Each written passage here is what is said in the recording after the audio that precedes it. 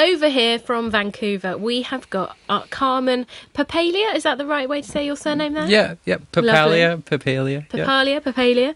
You say tomato.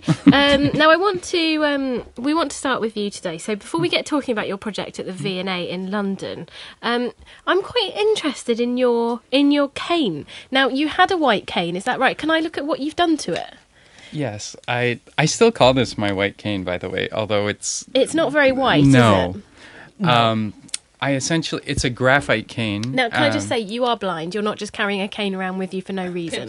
I don't I don't I don't identify as blind necessarily. I I've been I've changed identifiers throughout my life. So I've Okay, so what what what would you call yourself?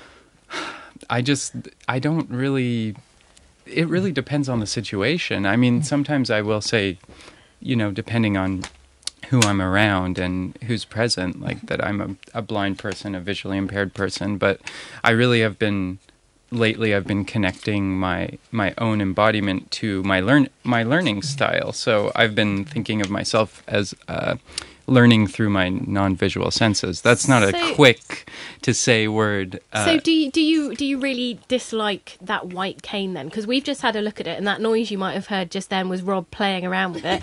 um, I couldn't help myself. no, so what did you do to your white cane? Uh, I, d- I essentially just peeled off all of the white and red tape, and it was a graphite cane. So now it's a beautiful, like black kind of Classic. slick color.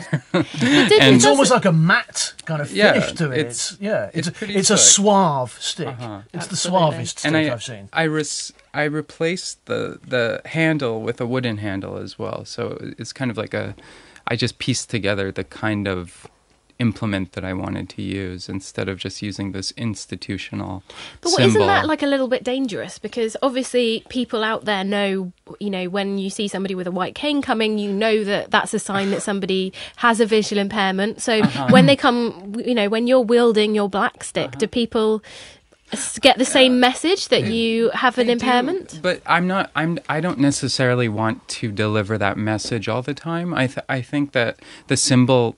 It's confusing for folks as well. I think that the action of uh, swiping the cane from, you know, one side to the next, and is more indicative of that, of of that. Uh, the person's embodiment than the, the the symbol. It's it's a clear indication of what they're doing.